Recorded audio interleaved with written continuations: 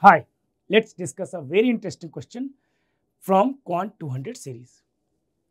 In a game, the winner awarded W points and the loser awarded L points, where W and L are natural numbers such that W is greater than L is greater than 0. Of course, it's already given that W and L are natural numbers. So, of course, and uh, winner getting W points and the loser getting L points. These are the orders.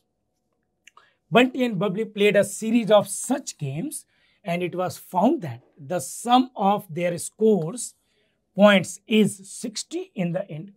Bubbly won exactly two games.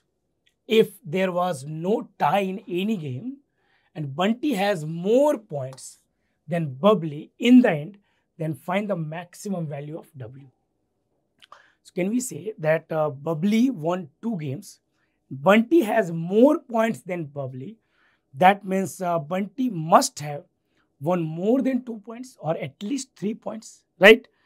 Now, what do we know? If number of matches, let number of total matches is equal to n, then can I say that in each match, the winner is getting W points, the loser is getting L points. So total points which are being distributed per match is W plus L.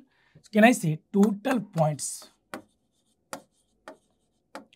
per match W plus L points. So in N match, N into W plus L points will be distributed, which is 60. Or we can say W plus L is 60 upon N.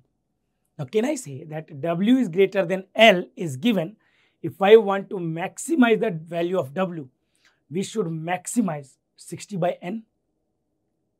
Now, what could be the maximum value of 60 by N? Now, think about this. Bubbly won exactly two games. Bunty must have won at least three games. So, if I reduce, if I keep the value of N minimum, we are going to get W plus L maximum right? So in that case, what could be the minimum value of n? n minimum, minimum value of n we can take is 5, which should also divide 60, right? Because uh, then w plus h should also be natural number. So in that case, we can say w plus l will be equal to 60 by 5, that is 12. Now I want to maximize w, then we must minimize l. So what could be the minimum value of l? l is a natural number. Can I take L is equal to 1. If I am taking L is equal to 1, W will be equal to 11. And that is the maximum value of uh, the score that you are getting if you win the match. All right.